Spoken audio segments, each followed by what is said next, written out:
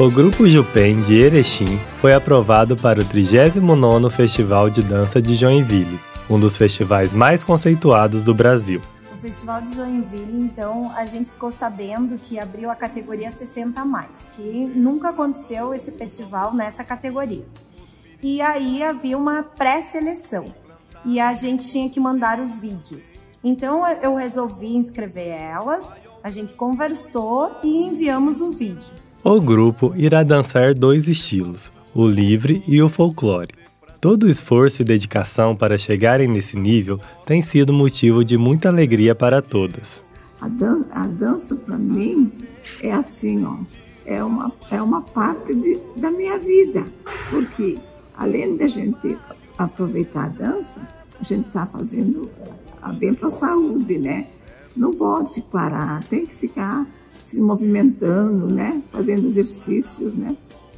Dona Maria Inês optou por não deixar de lado sua paixão pela dança.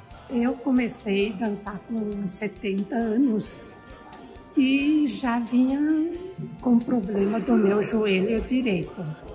Mas até em, em janeiro eu teve que tomar uma solução. Daí eu falei em casa, eu tenho duas opções, ou parar de dançar ou botar prótese no meu joelho.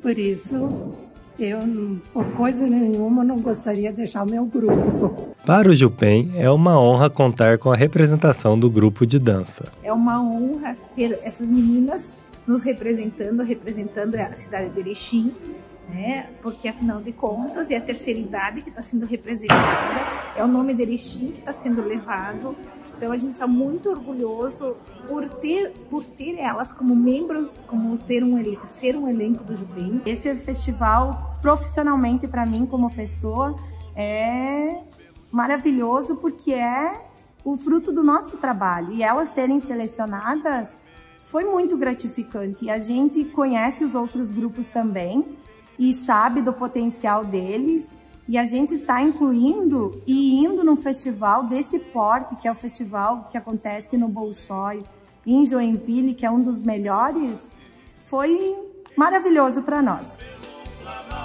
Com certeza.